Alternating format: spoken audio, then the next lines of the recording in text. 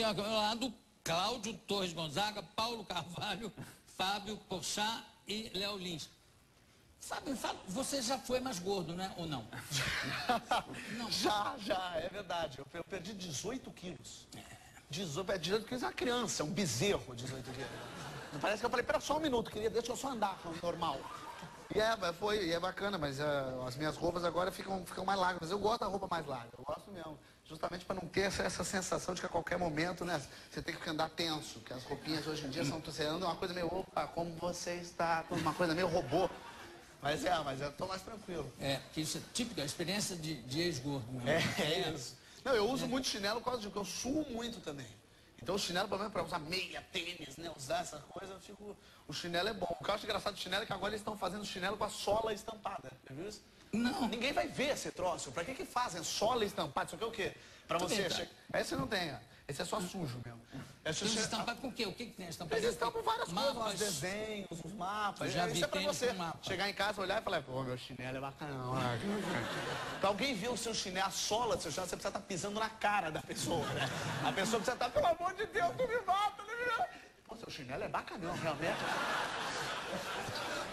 Ou só tem uns que tem mapa, só se o cara se perde, peraí, tira e olha, ah, eu tenho que virar a primeira direita, se apagar uma parte, o cara nunca mais volta para casa. Ele pisa só de um lado. É bom que você pisei no cocô, né? Que, be... oh, que beleza de chinelo, olha aí que maravilha.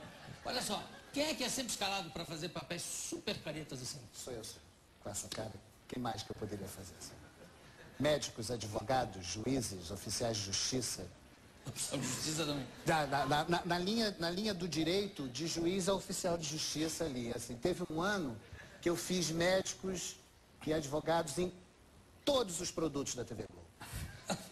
todos. Qualquer, Por exemplo. Qualquer, ah, na mesma novela. a gente separou, mas você separou algum? Tem? Então vamos soltar. Tem. Vamos soltar esses personagens, por favor. Doutor Otávio, eu tenho uma dúvida. Com essa nova técnica, como devemos proceder para que não aconteça uma consolidação prematura? Não vai levar lugar nenhum. Médico, advogado. É de família. A Rosa tem um igual. O juiz, o juiz você ficou ótimo. Mas sério, mas... Justamente o oposto. Como médico você não inspirou muita confiança. Não, nem da forma como o senhor fala do Tomzinho, já dá pra perceber que o senhor não tem carinho algum pela criança. Você vê se a gente levar o coração, vai. Vocês ficaram malucos? É, de transplante.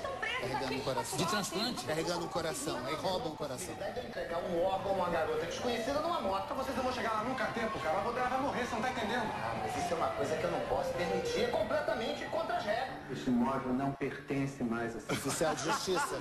Ele sempre viu notícias... Esse imóvel, eu fui lá despejar ela. Ele sempre viu notícias horrorosas.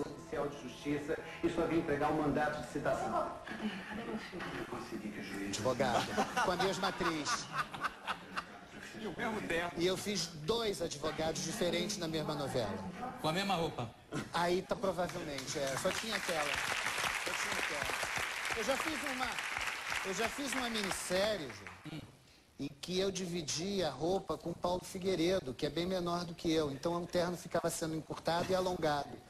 A gente, eles escalavam o dia que a gente não estava é, gravando no mesmo dia, para cada um usar. Usar. É, é, a minha vida é dura. que maravilha. Quase triste. Quem foi, foi você que foi mágico, engolidor de fogo? Quem foi, foi. Eu foi? comecei na área artística fazendo mágica, trabalhei com educação física, capoeira, recreação em hotel. A recreação durou um dia peraí, só. Peraí, então peraí, como é que é? Mágica e é, recria... educação física e recreação em hotel. Foi, foi. E malabarismo e tecido. Tudo junto? E aí não dava certo nada. O que será isso? Acabei caindo na comédia. Você engolia fogo? Eu peguei fogo uma vez. Ah, olha aí. Foi verdade. Eu fui parar no hospital, tive queimadura de segundo grau. É que na, na faculdade. Engolindo fogo? Não, não, cuspindo fogo. Na faculdade. Sim. Claro que é cuspindo fogo. Era pra engolir. Não, a gente fazia sempre uma abertura dos jogos, e aí tinha uma, uma bagunça, uma brincadeira. Uma vez entramos de moto na faculdade, a gente fazia sempre uma, uma baderna lá. E aí eu, dentro do vestiário, nessa abertura, eu fui cuspir fogo. O pessoal que viu, na hora eu não tomei cuidado nenhum. Acabei, se alguém for fazer isso em casa, por favor, tome cuidado. Por favor, não faça, aliás. Não, não faça nunca. Nem de não moto faça, na faculdade. E aí eu cuspi o fogo de dentro do vestiário, o pessoal que viu de fora achou sensacional, porque foi muito fogo. Eu enchi a boca de gasolina em vez de querosene, E na hora que eu cuspi, certo. sem querer, saiu tudo. O pessoal falou que parecia a abertura do Caverna do Dragão. Um negócio impressionante. E na hora minha cara começou a pegar fogo. Aí o pessoal que viu de fora achou que era parte do show. Porra, ele tá maluco hoje!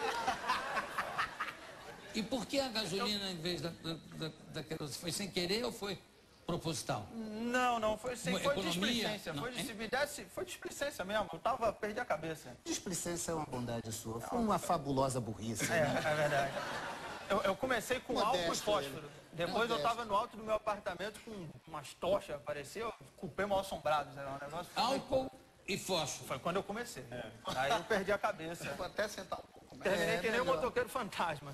Agora, dar pum em cima do fósforo você nunca fez. Não, não, não, não, não, não. Pra pegar fogo no pum. Não, não, não. E, e essa história da mágica é que, é que uma vez eu tava. A mágica acabou me livrando minha cara uma vez também, porque eu tava vindo pra casa, tinha comprado um almoço, umas esfirras, e aí um cara meio esquisito veio na minha direção, eu não dei nada, era três horas da tarde.